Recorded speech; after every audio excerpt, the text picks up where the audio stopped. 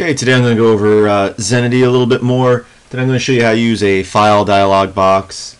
Um, really simple. Uh, we're going to go, we're going to use Zenity, and we're going to use the switch dash dash file dash selection. Now when you hit enter on that, it brings up a very familiar looking dialog box for you. Uh, and you can go in and select whatever file you want and as usual with Zenity, it just prints out the name of that file. So we can uh, create a variable with that. I'm going to say x equals dollar sign and then parentheses put that command we just uh, created. And uh, so now we're gonna, we're setting x equal to the name of the file that we want to do something with.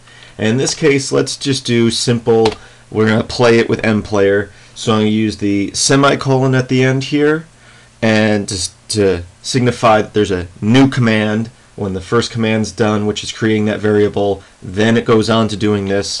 And we're going to say mplayer and in quotations, just in case there's spaces or special characters in the file's name, we're going to do our x variable, which is dollar sign $x, and then we're going to close our quotations. So the first half is we're creating a variable x that is equal to the output of their Zenity program and then we're going to start a new program, a new uh, command which is going to be mplayer and it's going to play the file that x represents. So let's go ahead and do that. So I'm going to go into my music folder and we'll select some music here and when we click on it mplayer starts playing it. It's that simple. You can do other things. You can display images with uh, the display command or manipulate any files that you have out there.